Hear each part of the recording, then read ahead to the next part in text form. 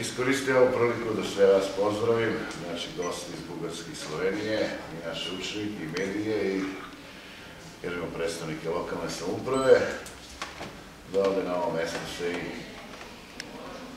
zamenik predsjednika opštine, gospodin Goran Popović, Elbrat Ivanov, ime lokalne samouprave, i da kažem da mi je drago što smo organizovali ovaj put druženje, tradicionalno se već družimo sa školom u Pirdopu.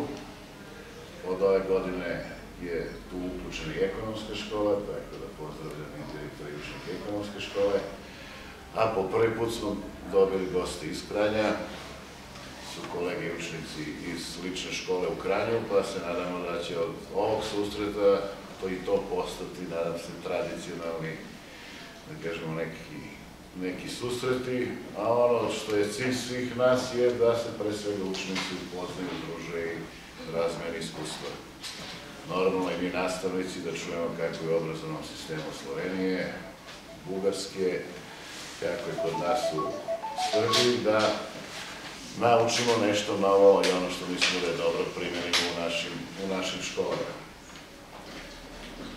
Tako još jedan put veliki pozdrav svima vama takmičarski deo manifestacije Danih hleba, kada je izrada slavskih kolača, doći još desetak škola sličnih iz Srbije, naših.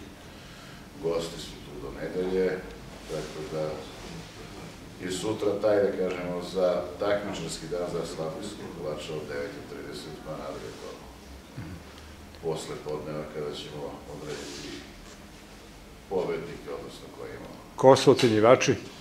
Inače je stručna komisija, znači predstavnici naših socijalnih partnera, izmeni plek zavoda i naši ovde iz grada. Znači oni koji su u tom poslu. Ali suština znači ne samo takmičenje, nego više razmene iskustva i druženje učenika. Znači, pored gosti i Slovenije Bugarske, bit će još 10 škola i